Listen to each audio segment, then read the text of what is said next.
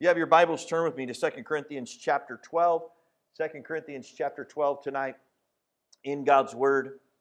By way of uh, uh, illustration, uh, I came across a, a, bunch of articles as I was uh, working on this sermon, putting it together. And uh, really, the, the articles were talking about a number of different things when it comes to the state of the United States right now, people's uh, emotions and things that are going on. And let me read to you it says, uh, it's, be- it's being called an epidemic. Recent surveys uh, show that around 60% of people in the U.S. right now report feeling lonely on a regular basis. According to a new advisory put out by the Surgeon General's office, the epidemic of loneliness in the United States, due to the lack of human connection, can increase uh, the risk of premature death levels comparable to smoking 15 cigarettes a day. One doctor said, You can feel lonely even if you have a lot of people around you, because loneliness is about the quality of your connections. This doctor went on to recommend that people go back to church so that they can connect with God and other people. Now, I don't even know when the Surgeon General is recommending that you go back to church, there's something going on, right? But I say that to, to uh, lay, the, lay this foundation tonight is that it's critical that we connect with Jesus first and along with other people who will help build us up. I want you to think with me about Jesus is enough out of 2 Corinthians chapter 12. We're going to just read one scripture tonight, verse 9. The Word of God says this And God said to me, My grace is sufficient for you, for my strength is made perfect in weakness. Therefore, most uh, gladly I would rather boast in my infirmities, that the power of Christ may rest upon me. Amen. I want you to think with me, first of all, tonight about the tendency to isolate when weak. Now, in our text, Paul says that Christ's strength is made perfect when we are weak. Paul is not giving a free pass to, to, uh, you know, to sin and get involved with sinful lifestyles, but he's addressing the fact that there is a real struggle with things, and struggle is a very real human experience, right? Temptation, failure, mistakes. Listen, tonight, it is possible to struggle with faith due to trials and sickness. It is possible to not have boldness or confidence. It is possible because of poor self worth and self image to draw back. It is possible to be filled with anger, sadness, depression, and even fear. It's possible to deal with any or all of those things, but yet still not fall into sin. I mean, you know, we can deal with those things in life and still not be totally overcome by sin or give into that lower nature. In 1 Corinthians 10 13, it says, We read that temptation is common to man, but God is faithful, and he will not let you be tempted beyond your ability. But with the temptation, he will also provide a way of escape eh, that you may be able to endure it. So we must understand that weakness does not mean that we're bad Christians or bad people. Just because we're struggling with something, that doesn't mean we're horrible. Amen? But the devil wants us to believe that. We'd be foolish to think that the devil does not use our weaknesses to attack us, to condemn us for struggling with things. Listen, the devil will make you sick, and then he'll tell you that you have no faith because you're sick. He's a, he's a, a, a, a manipulator. He's, he's uh, just trying to rip people off uh, and destroy our ability to trust God. A recent study put out by the University of Chicago, it shows that when people feel weak or insecure, they tend to isolate themselves. And that isolation makes the mind and body feel more vulnerable uh, leading to an elevated, uh, elevated stress hormones, high blood pressure, poor sleep, And in turn, that leads to further isolation. So, the, listen, the devil's a master at trying to draw people away so that we're on our own, by ourselves, isolated, so then he can just attack us and we don't have any way to defend ourselves.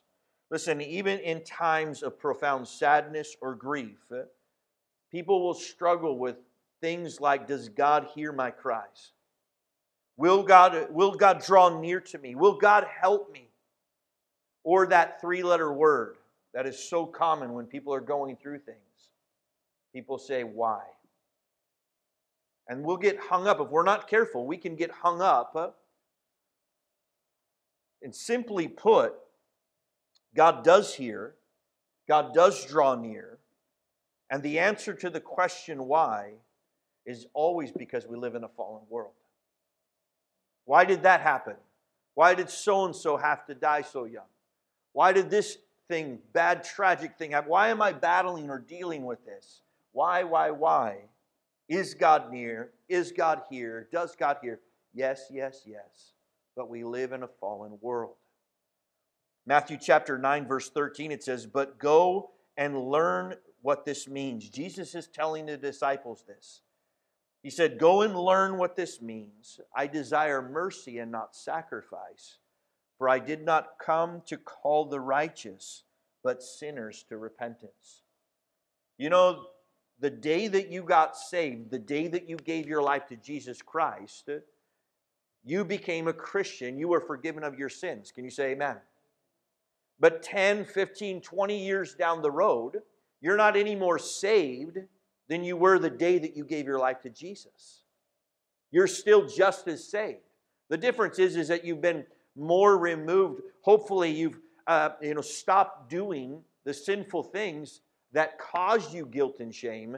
And over the course of time, because you're more removed from those sinful things, that guilt and shame, those feelings, don't have its same power over our lives.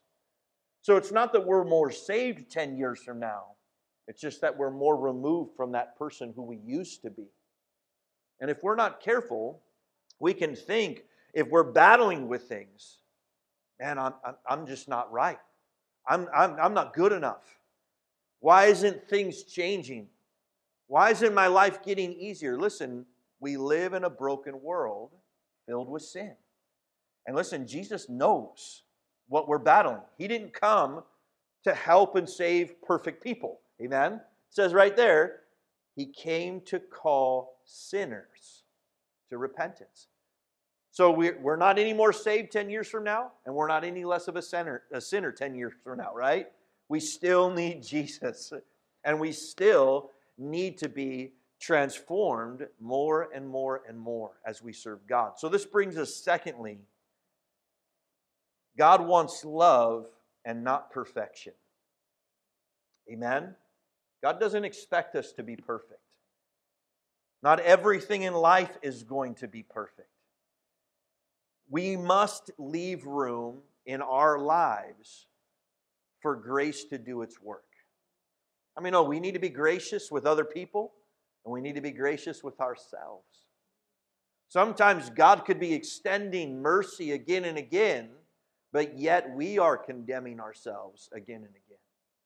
God wants us to walk in freedom, but we are wrapped up in the turmoil of self hate, condemnation, self righteousness. Listen, God doesn't want perfection, He wants us to love Him, and He wants us to walk in that love.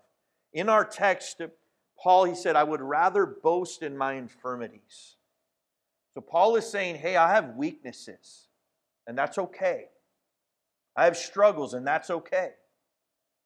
I'd rather say I have problems and I have struggles than to walk around and say I'm perfect. Because in my weaknesses, in my infirmities, the power of Christ rests upon me.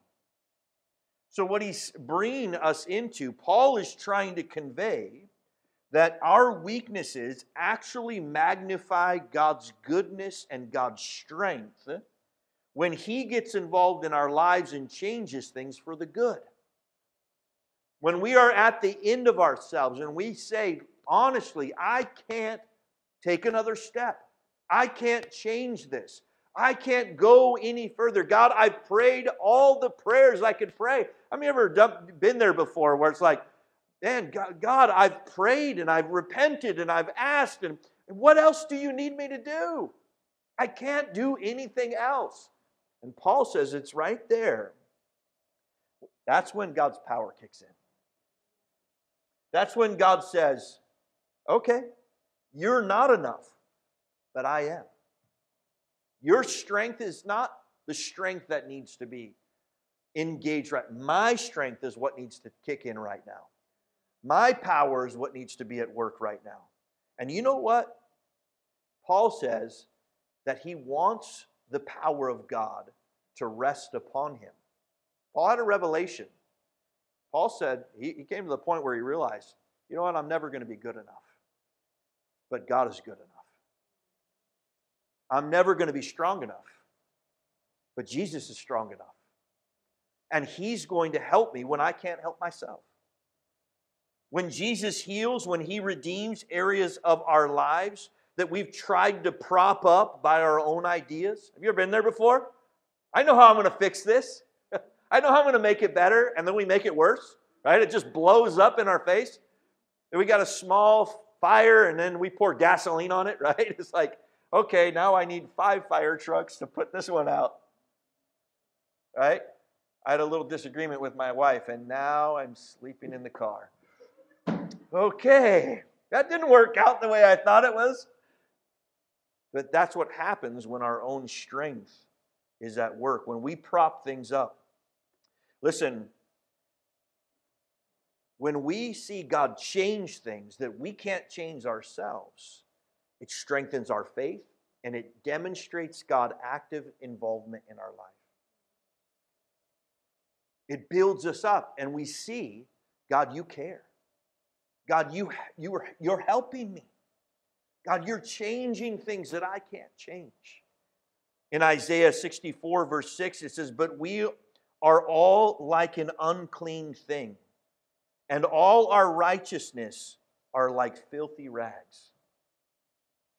You see, God is not going to force you to admit that you are tired and weary, that your way of approaching life is not working. God's not going to force that on you.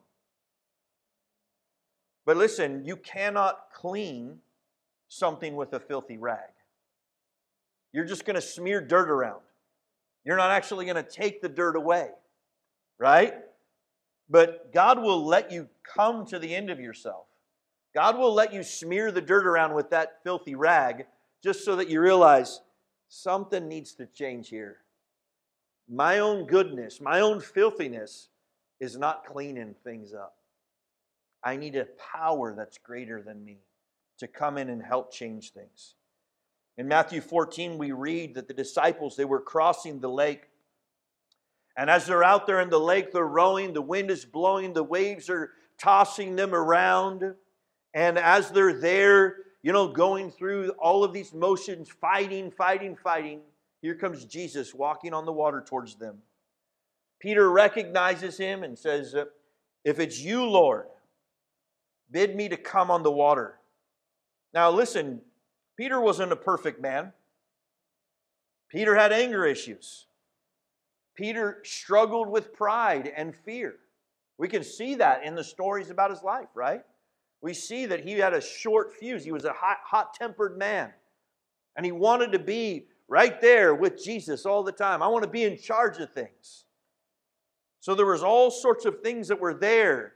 And then as Jesus is arrested, Peter's by the fire and he's rejecting and denying Jesus out of fear. So we know that he had some real heart issues. He wasn't a perfect person. But even with all of those flaws, his faith and trust in Jesus Christ were all that he needed to step out of the boat and stand on the sea. There's not one other person in the world that can say, I walked on water to Jesus. Only Peter, right? Think about that. His faith in Jesus was all he needed to step out of the boat and walk on the water. But think about what happens is as he walks to Jesus, as he's keeping his eyes on Christ, he's walking in victory. He's walking on water. He's walking in the miraculous. But the moment he takes his eyes off of Jesus, he begins to sink. In Matthew 14, 31, excuse me, 30 and 31, it says, But when Peter saw the wind was boisterous, he was afraid and began to sink and cried out, saying, Lord, save me. And immediately Jesus stretched out his hand and caught him. You know what's amazing about this story is what happened to Peter happens to every Christian. It happens to every one of our lives. When we turn our focus on the issues that we're facing, when we allow feelings and emotions to overshadow and supersede our revelation of who Jesus is, we will begin to sink and drown in things that we can never control. I mean, oh, Peter couldn't control the sea, Peter couldn't control the water. But as long as he put his eyes on Jesus, he overcame. As long as he put his eyes in faith and trust in Christ, he rose above. He was walking in a miracle. Now, if you read that whole story, the wind and the waves were actually there before Jesus was. Jesus was praying, and they're out there rowing, and the wind and the waves were coming. So it's not like the conditions changed. It's not like Peter stepped out and it was a nice, beautiful, sunny day, and as he was walking to Jesus, boom, the storm hits, right? No. When he stepped out of the boat, the wind was there, the waves were there, everything was already in craziness and chaos. The difference was is that he had his eyes on Jesus. The moment he took his attention off of truth, the moment he took his attention off of Jesus Christ and placed it in himself again, I mean, no, if you're going to look at your problems that you can't change, that you can't do anything about, you're going to focus on that, you're going to start to drown in it. What changed was where he placed his trust. Tonight, do you believe that you can trust God? Do you believe that God is worthy enough of your trust? Do you believe that Christ can be enough no matter what happens in your life? Listen, Peter's condition didn't change, right? There was still trouble, there was chaos. The difference was he trusted, and then he didn't trust. He walked on the water, and then he began to drown. You know, tonight the difference is the same for every one of us. Where are we putting our trust? Where are we putting our focus? Remember, God doesn't want perfection. Peter wasn't perfect. We don't need to be perfect. We'll never be perfect. But we can trust. We can say, I believe. God, you're greater than what I'm facing. God, you're bigger than the storm. God, you're bigger than the winds that are blowing against my life. God, I believe you and I trust you. And you know what? That's enough. Let's close with what happens when Christ is enough. Billy Graham, he said, God made us for one reason so that he could have fellowship with us. It wasn't that he was lonely or needed us, but he made us in his image so that he could shower his love upon us. Listen, God made us so that we could know his love.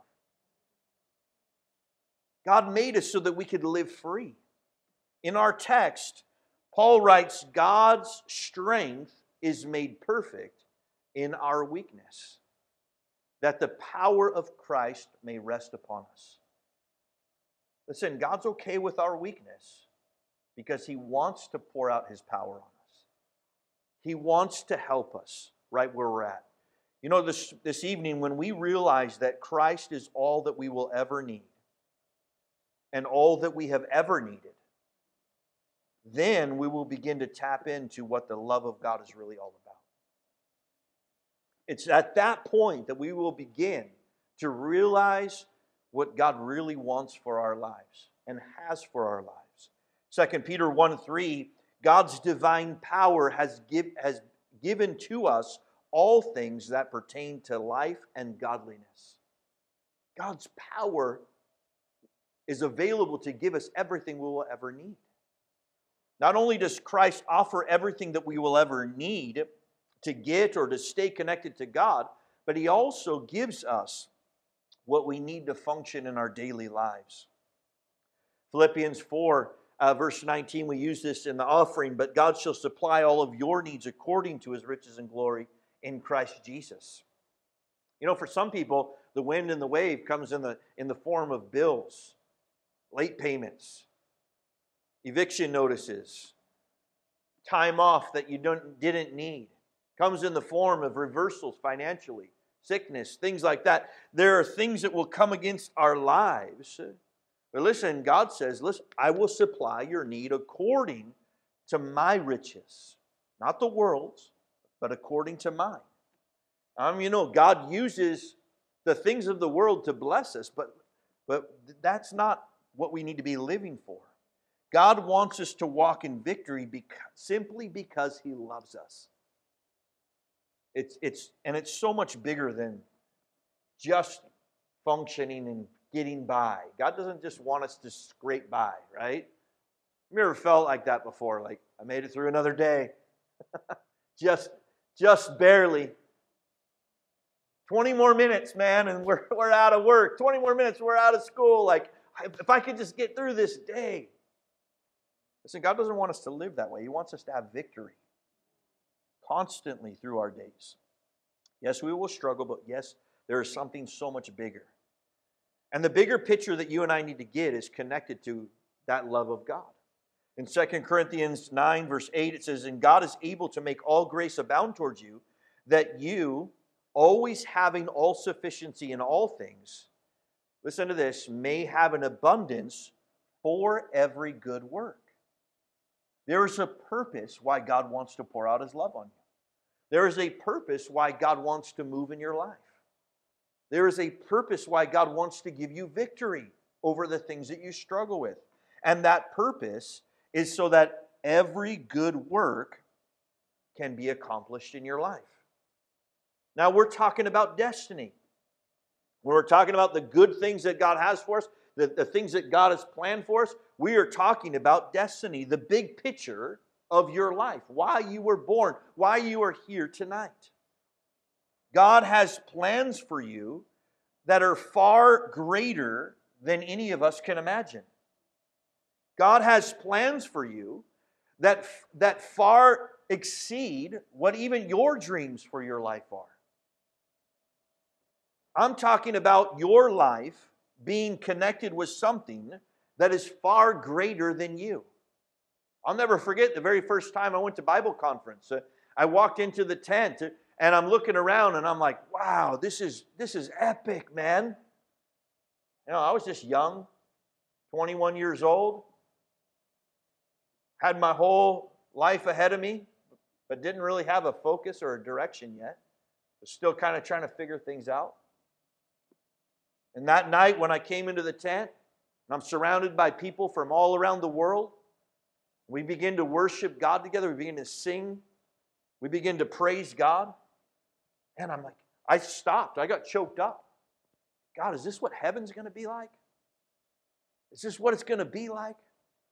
There's no color. There's no language. There's no anger. There's no frustration. There's none of that. We're just worshiping Jesus. But you know what I got a bigger picture of? God, you made me a part of something that is way, way bigger than me. God, you put me in something that's touching the world. You placed me in a body that I could make a difference in, that I could be a part of. In Jeremiah 29, verse 11, it says, For I know the thoughts that I think towards you, says the Lord, thoughts of peace and not of evil, to give you a future and a hope. Listen, when you give your life to Jesus Christ, you become a son or a daughter of Christ. You have become a part of something that is worth living for. Amen? When you give your life to Jesus Christ, you become a, part of something that is worth dying for. And that is the kingdom of God.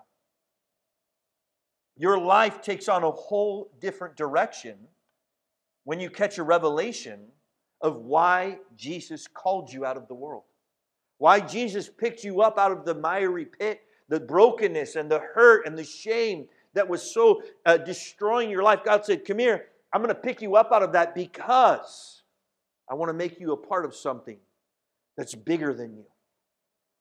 You know, God says, I chose you, you didn't choose me. You didn't choose me. And God says, I know who you are, and I'm going to choose you because I have a plan for your life.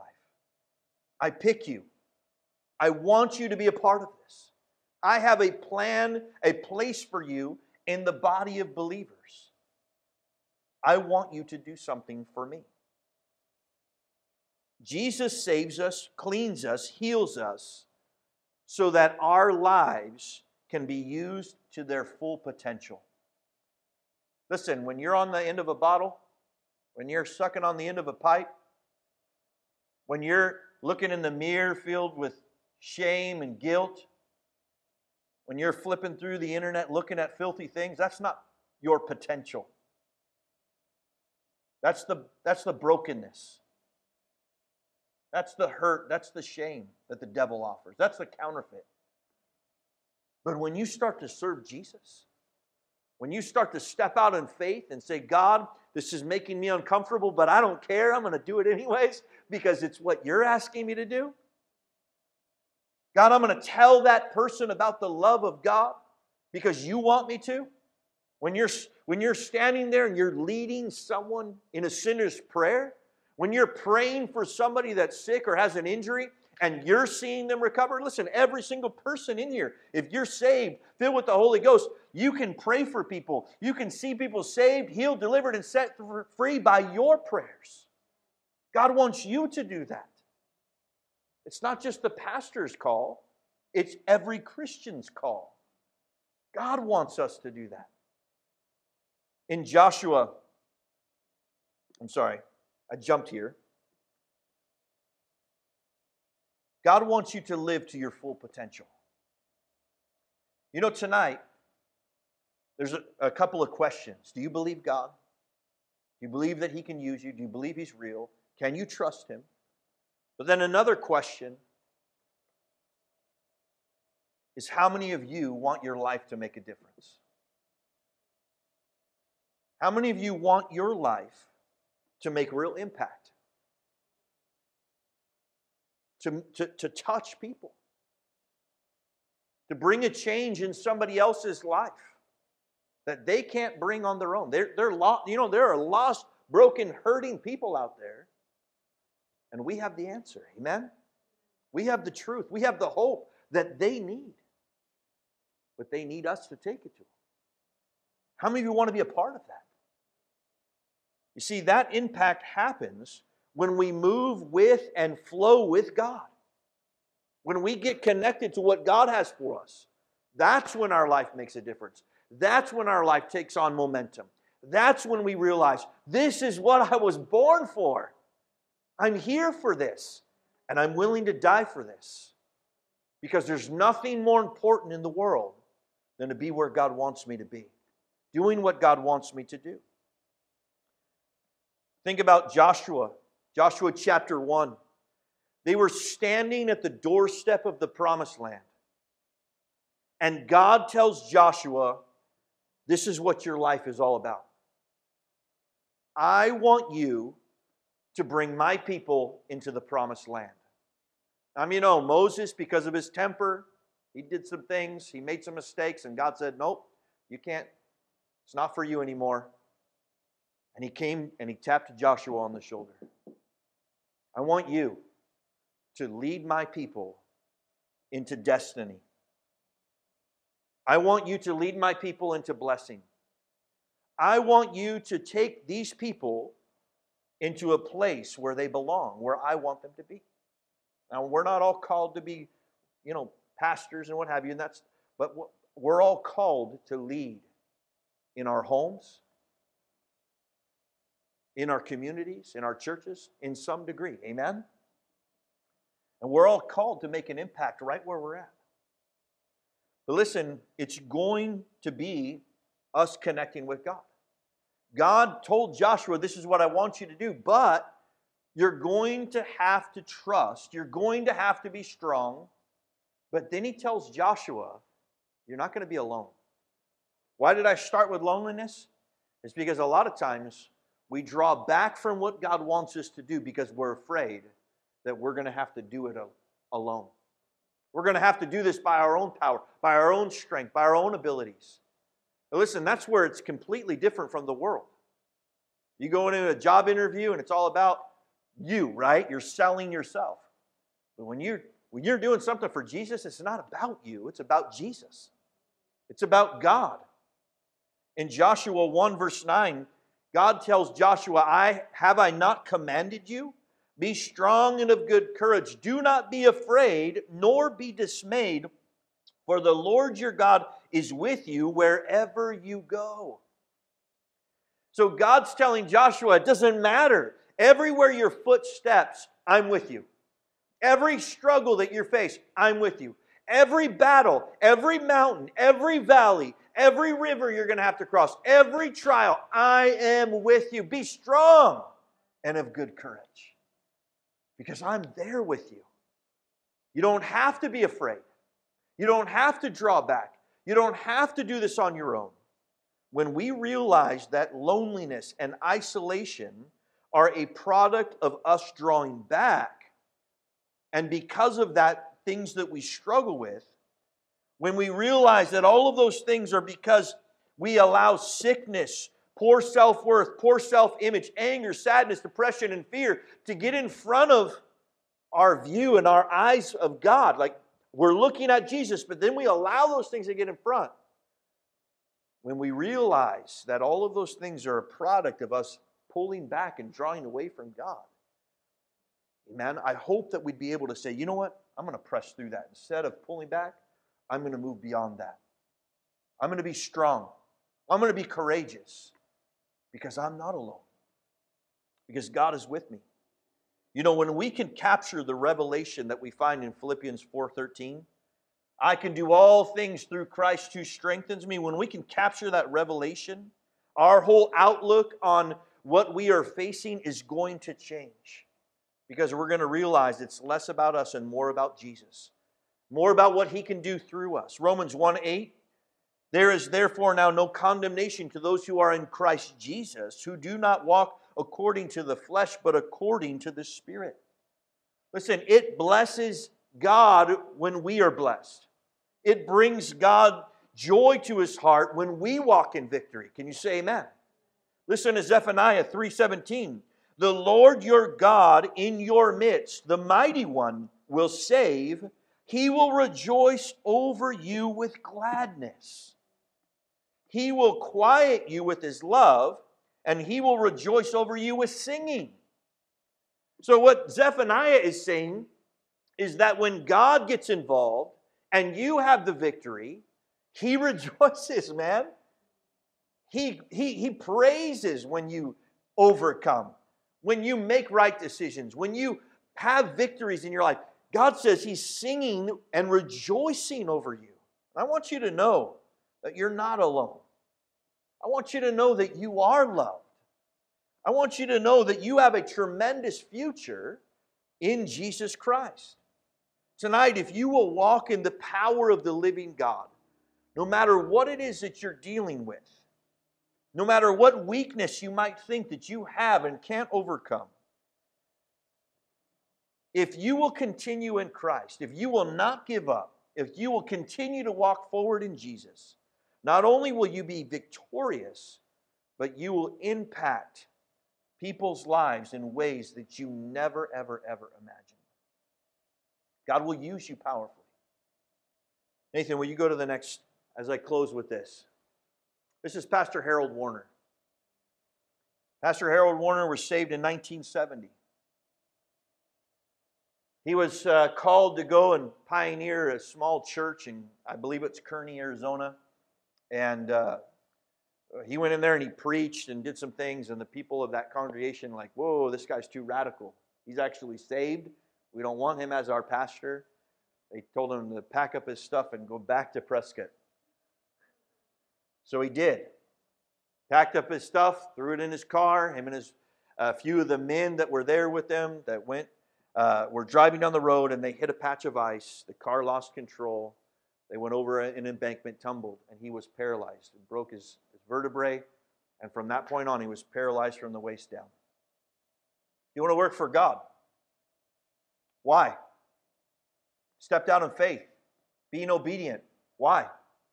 How could that happen? Who does that? Why would you allow that, God? Right? Pastor Harold Warner could have asked. He probably asked some of those questions, but he answered correctly again and again and again. His answer was always, you know what? I'm facing difficulty. I have a debilitating injury. This would cause most people to be angry at God. This would cause most people to quit. But Pastor Warner had such a love for God.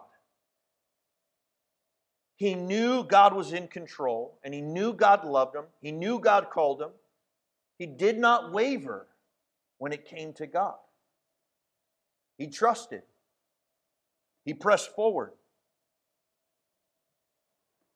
And for the last 50 years, he recovered from that and he was asked to go and take the church in Tucson, Arizona small, struggling church about ready to close. Him and his wife Mona, that's them. Picture of them when they left to go to the Tucson church. And this is a recent picture of them over here in the, the far uh, right corner there. For 50 years, they've pastored the Tucson church. Listen to this. It's the, the name of the church is the Door Christian, the, the Door Church. The Door Church now serves as a mother and grandmother church to more than 500 plus churches in over 42 foreign nations. Think about that. Paralyzed. Could have said why. Could have said it's not fair. Could have said it's too hard. Think about it. What if Pastor Warner would have drawn back? What if he would have allowed fear and anger to cloud his ability to press forward in Jesus. Thankfully, none of us here are faced with that type of an injury. But we all have things that we're battling. We all have things that we're struggling. And you know what? It's okay. I don't know all that God has for your life. But I do know this the only way that you will ever know what God has purposed for your life is to fully is for you to fully surrender to his will. The only way you're going to ever know how God is going to use you is by surrendering to God's will. Don't hold back. Don't hold back in your walk with Christ. Don't be a halfway Christian. Don't look back on your life 10 years from now and say, man, I wish I really would have committed myself to what God wanted me to do. Don't allow the struggles and the trials and the difficulties of life to cloud and change your view of God. No matter what happens, no matter how difficult it gets, God is still the same. Amen? God is still the same. His promises are still true. His love is still true. And you know what? No matter what you're going through, no matter the struggle, you're just as saved today as the day that you gave your life to Jesus. But now you have an opportunity to say, you know what, God?